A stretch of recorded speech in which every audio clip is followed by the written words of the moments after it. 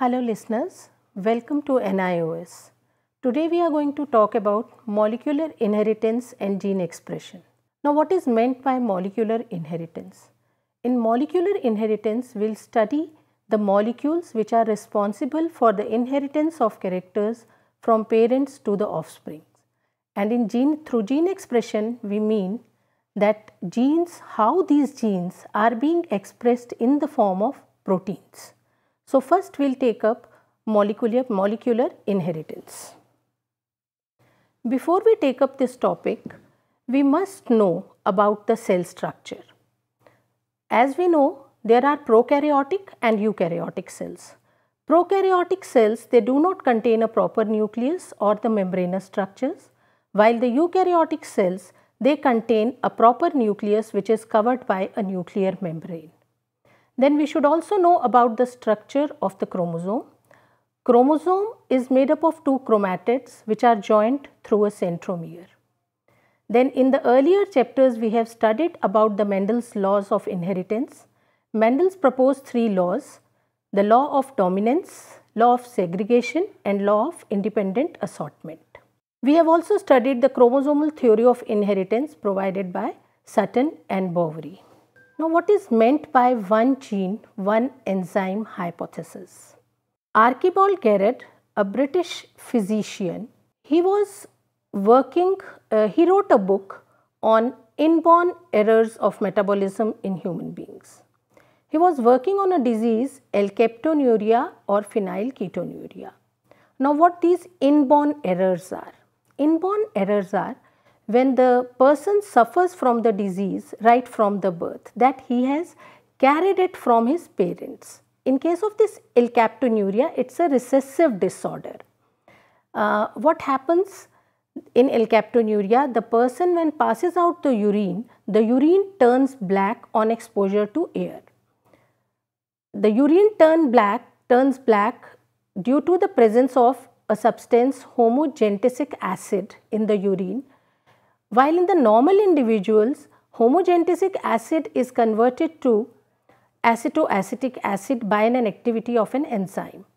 But this particular enzyme which converts homogentisic acid to acetoacetic acid is absent in individuals suffering from alkaptonuria. Archibald Garrod, he was the first to connect a human disorder with Mendel's laws of inheritance he deduced that alkaptonuria is a recessive disorder. Then Beadle and Tatum actually proposed the hypothesis that is one gene, one enzyme hypothesis. What it means actually is one gene is responsible for the production of one enzyme. Although this hypothesis does not hold true in the present light of knowledge, because now we know that enzyme is not only made up of only one polypeptide while the enzymes are made up of more than one polypeptide. Beadle and Tatum they worked on an organism Neurospora crassa. Neurospora crassa was irradiated with X-rays. X-rays are the mutagens which can bring about change in the genetic makeup of an organism. So, the wild type spores of neurospora, they could grow on a minimal media.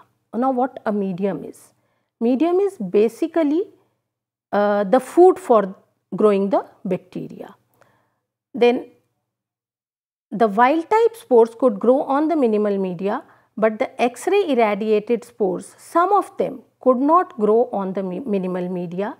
They require arginine. Arginine is an amino acid. They require that amino acid arginine for their growth and these mutants were created on exposure to X-rays. So, Beadle and Tatum they proposed that some enzyme during the irradiation of X-rays, some gene has been mutated and the Neurospora crassa mutated spores were not able to synthesize arginine. So, the arginine is to be provided in the medium for its growth and they propose this one gene, one enzyme hypothesis. The first experiment to prove that DNA is the genetic material was given by Griffith. He was working on an organism Streptococcus pneumoniae. Streptococcus pneumoniae is a bacterium and it causes pneumonia. Griffith injected different strains of the Streptococcus pneumoniae into the mouse. The different strains were as you can see in the slide the red strains are the virulent strains and they are known as smooth strains. They are smooth because they are covered with a capsule, polysaccharide capsule. And the blue strains that we can see in a slide are the rough strain of Streptococcus pneumoniae. When he injected the smooth strains of Streptococcus pneumoniae into the mouse, it resulted in a disease and ultimately the mouse dies. When the mouse was injected with the rough strains of Streptococcus pneumoniae, the mouse did not catch the disease and the mouse lives. Now in the third set of experiment, he injected heat killed smooth strain of Streptococcus pneumoniae into the mouse. The mouse lives. It means once the bacterium has been killed by heat, it is not enough to cause a disease in an organism. Then he in fourth set of experiment he injected a mouse with heat killed smooth and living rough strain of the bacteria. As we can see in the slide, the yellow ones are the heat killed smooth strain and blue or are the living uh, rough strain of Streptococcus pneumoniae. When mice was injected with both of these, the mouse dies. The actual expectation of this result was because we have injected them with the smooth heat killed bacteria which will not cause the disease and the rough strain also does not cause the disease but still the mouse died. To find out what is the reason of the death of an organism, he isolated the bacteria from the dead mouse and he found that all the bacteria were of smooth type and they were living. What has resulted in the transformation of the rough bacterium into the smooth ones? To find out, uh, to explain this, he gave, he suggested that there was some transforming principle that was present in the heat killed smooth bacteria which has resulted in the transformation of rough bacterium into the smooth ones. He could not explain what that transforming principle was. Then scientists Avery, MacLeod and McCarty, they purified the chemical composition of heat killed Streptococcus pneumoniae. As we know that all organisms are basically made up of fats, proteins, carbohydrates, minerals, vitamins. So they extracted these components from the heat killed Streptococcus pneumoniae that was the smooth strain. As we can see in the topmost tube that there is a solution in which lipids and the sugar has been removed and the solution contains proteins, DNA and RNA. In the first tube we can see that the enzyme RNase has been added to remove the RNA. RNase is an enzyme which digests the RNA. So now in this solution we have only DNA and the proteins. When this solution was put into a flask containing the rough bacteria as you can see in the flask the rough strain was added. There was a transformation of rough strain into the smooth strain after some time. In the second set, he added an enzyme proteinase to digest proteins and now in this tube only the DNA and the RNA is present. And when this solution was added into a medium containing the rough strain, this rough strain transformed into the smooth strain. As we can see in the flask, the rough strain has been transformed into a smooth strain. In the third set, he added enzyme DNase which will digest the DNA and the tube contains only proteins and the RNA. When this solution was added into the flask containing the rough bacteria, the rough bacteria did not change to the smooth type. They remain only rough, they, he could find only the rough strain in that bacteria. So this proves beyond doubt that DNA is the genetic material. Another scientist, Hershey and Chase, they worked on a bacteriophage to prove beyond doubt that DNA is the genetic material. Bacteriophage, what is a bacteriophage? Bacteriophage is a virus that infects the bacteria and this bacterio T2 bacteriophage infects E. coli as in we have certain human viruses also like HIV is a virus and in plants tobacco mosaic virus same way the virus which infects bacteria are the bacteriophages. Bacteriophage has a very simple structure. It has a protein coat and a DNA structure which is present inside the protein coat. What Hershey did, he grew those bacteriophage on a medium containing radioactive sulfur and in another set he grew that those bacteriophage in a medium containing radioactive phosphorus. Now why he used radioactive sulfur and radioactive phosphorus? The reason being the proteins are made up of carbon, hydrogen, oxygen, nitrogen but some of the amino acids like methionine they contain sulfur. Sulfur is not found in the DNA but we, we do find this sulfur element in some proteins. And in other set he labeled, he grew those uh, bacteriophage on a medium containing radioactive phosphorus because phosphorus we do not find in proteins. Phosphorus is a component of a DNA which we will study later on. When the phage that was grown on a radioactive sulfur and phosphorus, they were used to infect the bacterium. The first step is the infection as you can see in the slide. When they were used to infect the bacterium, the genetics material was supposed to move into the cell. Okay. In the first slide, we can see that the protein coat is attached to the surface of the bacterium. That was the infection stage. That bacteria and the phage, they were incubated together. Now, once we know that the infection has taken place, the solution was blended. The blending is done in the same way as we do in our houses. We use the blenders in laboratory, the tubes are small and the smaller blenders with very high speed are used. Now, what is the reason that we have used this blending is to separate out the phage particles from the bacterium particles. Once the phage and the bacterium has been separated out in the solution, now we need a pure solution of the bacteria so that we can find out whether the bacterium contains the radioactive sulfur or the phosphorus. So, third step after blending was the centrifugation. When we centrifuge that solution, the based on the sedimentation coefficient of the bacterium and the phage, they will separate out at the different places in a tube.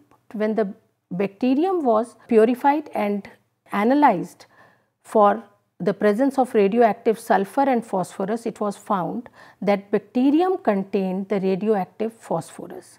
So, this proved that DNA is the genetic material because phosphorus is a component of DNA only.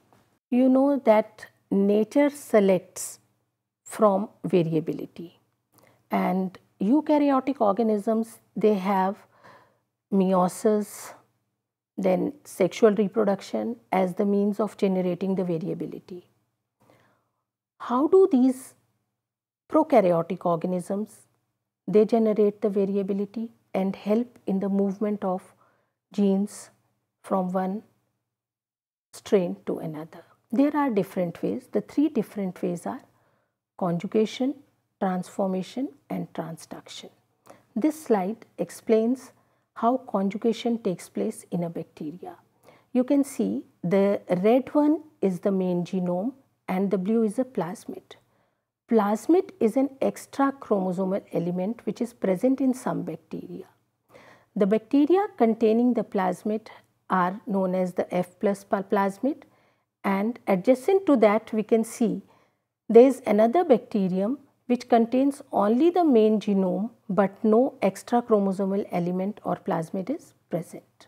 In the F plus bacteria in the first set we can see a stick type of thing is attached to the bacteria that is that is a pili. This pili is formed between F plus and F negative bacteria. F negative is the one which is not containing the plasmid.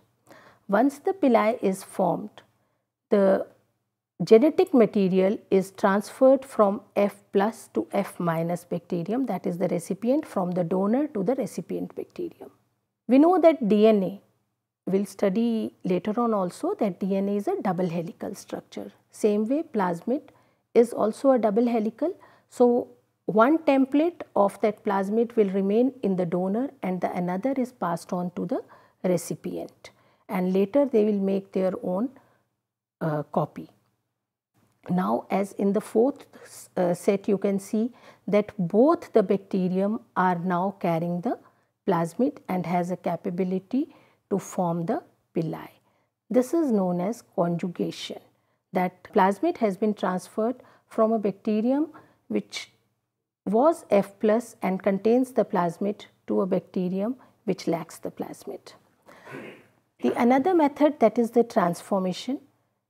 Transformation is the same that we that Griffith studied. What happened in that case was the nascent DNA the nascent DNA which was present around the rough strain that was taken up by those bacteria. Some of the DNA of the smooth type was moving around in that medium and it was absorbed by the rough strain.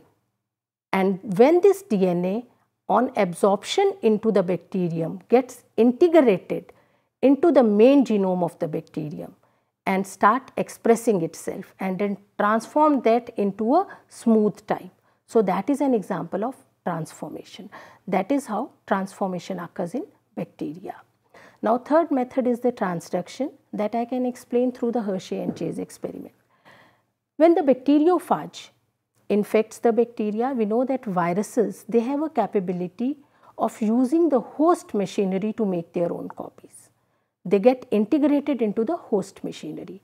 The virus gets integrated into the main genome of the bacteria.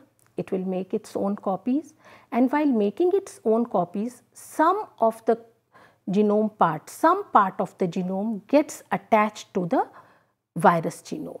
And when this virus breaks the bacterial cell and infects the another bacterium, that results into the transduction. When it infects the other bacterium, that genome from the first bacterium gets transferred to the next bacteria. So, this is known as transduction.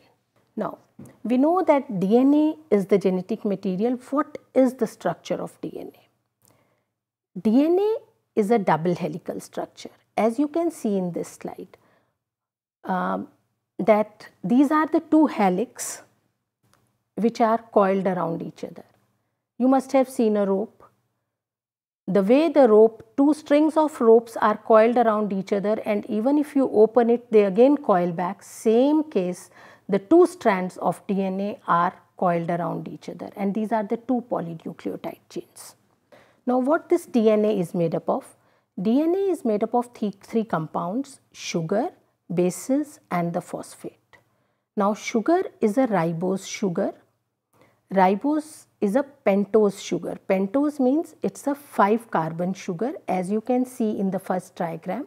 The first carbon is on the right hand side of the oxygen, then second carbon in the ring and third is to the third carbon the hydroxyl is attached, then the fourth carbon and the third hydroxyl group that is there on the ring that is the place where the fifth carbon is attached.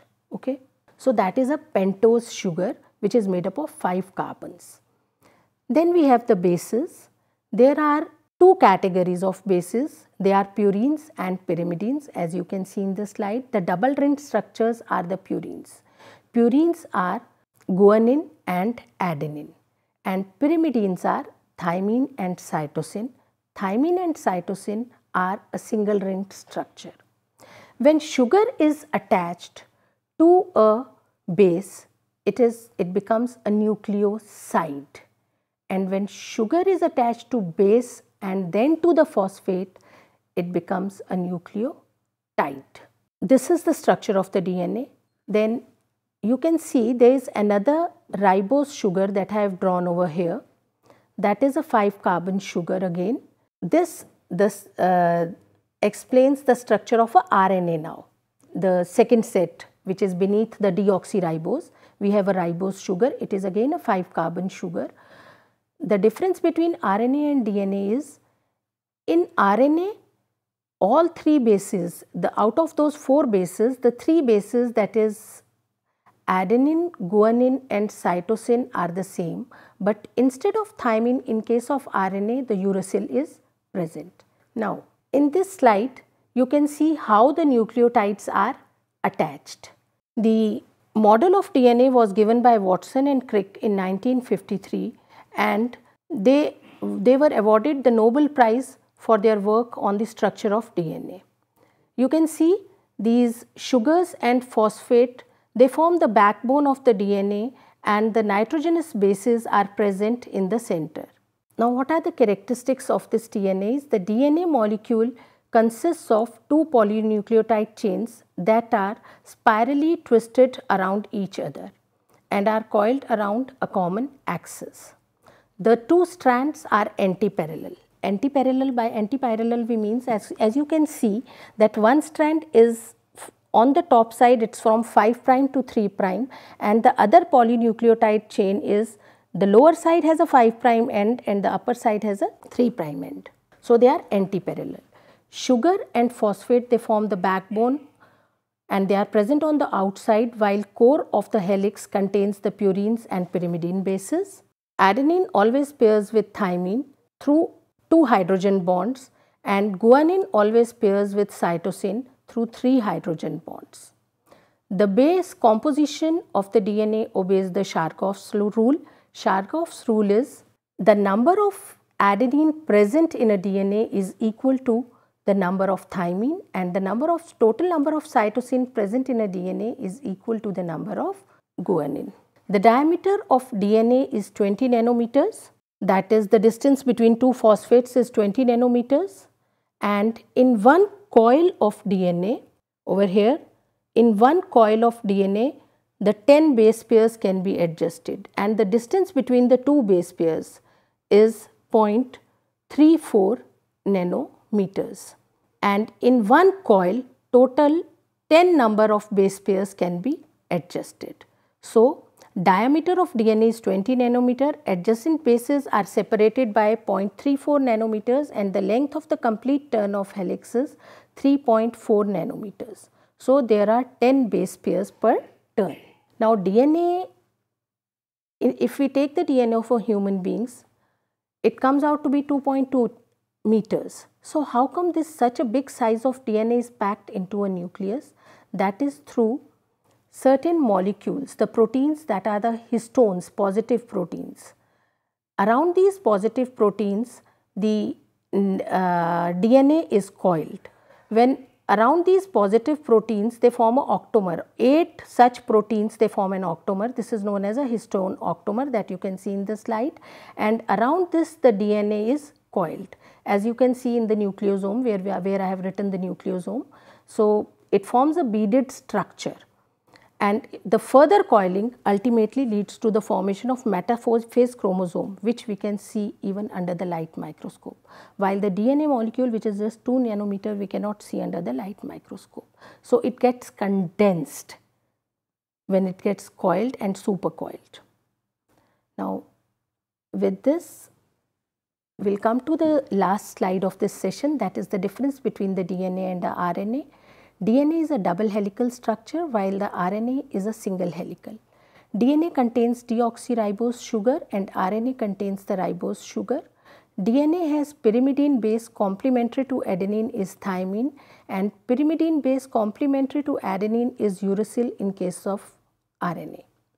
DNA has only one function that is to bear the hereditary information while RNA performs many functions in the protein synthesis and there are different types of RNAs available messenger RNA, transfer RNA and the ribosomal RNA. Besides that RNA also acts as a genetic material in case of retroviruses. DNA can duplicate on its own but RNA can be synthesized using a DNA template. So, I hope that now you know what is the structure which is responsible for the inheritance of characters that is the DNA and what is the structure of DNA. So, in the next part we will take up how does this DNA replicates and how does the gene expresses itself into the form of proteins. I hope the session was fruitful for you people and it will help you in understanding the structure of DNA and thank you. So, see you next time.